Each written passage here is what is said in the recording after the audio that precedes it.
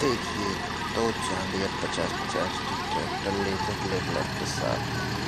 एक खेत में जुताई करते